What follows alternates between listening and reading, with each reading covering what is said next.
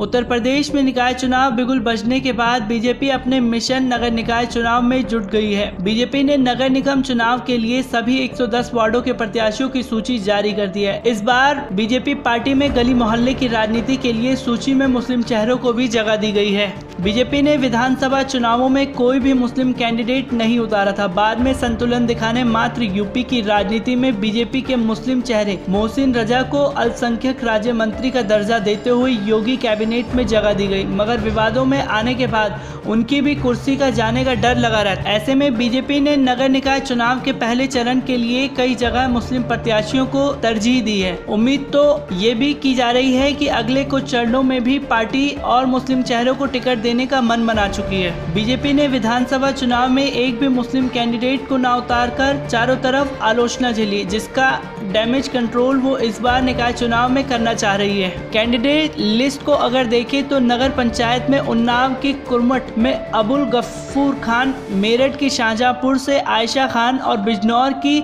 सरसपुर से निशा परवीन को अध्यक्ष पद का उम्मीदवार बनाया गया। वहीं कासगंज की भरगेन नगर पंचायत से नजमा बेगम अध्यक्ष का चुनाव लड़ेंगी। पार्षदों और वार्ड सदस्यों में बीजेपी ने सत्तर वार्डो वाले मथुरा वृंदावन नगर निगम में दो वार्डों से मुस्लिम महिलाओं को टिकट देकर चुनावी मैदान में उतारा है, जिनमें वार्ड अड़तीस से समीन बेगम है, जो बीजेपी के करीब 20 साल से बीजेपी से जुड़ी हुई है। समीन बेगम के पति अशरफ यहाँ कृष्णा नगर मंडल के नगर मंत्री है। पिछली पार्टी ने वार्ड अड़तीस महिला प्रत्याशी के लिए रिज़र्व होने के कारण यहाँ से समीन बेगम को अपना प्रत्याशी बनाया था। समीन बीजेपी के नारे सबका साथ, सबका विकास के साथ अपने वार्ड में घर घर जाकर वोट मांग रही है। वही साठ साल की मम्मो बेगम पाँच साल से बीजेपी की सदस्य हैं। मम्मू बेगम अपने वार्ड में घूम घूम कर अल्पसंख्यक समुदाय के लोगों से बीजेपी और अपने पक्ष में मतदान करने की अपील कर रही हैं। उन्हें मथुरा वृंदावन नगर निगम के वार्ड संख्या 18 से चुनावी मैदान में उतारा गया है। बीजेपी की जिला इकाई ने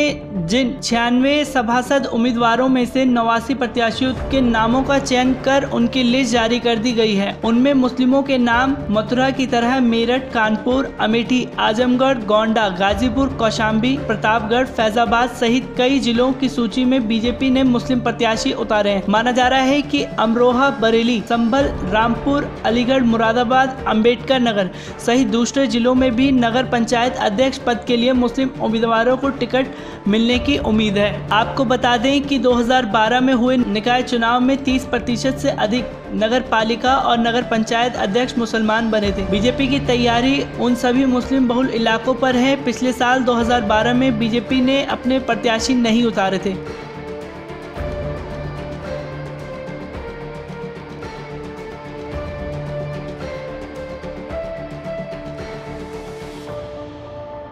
ब्यूरो रिपोर्ट पल पल न्यूज़।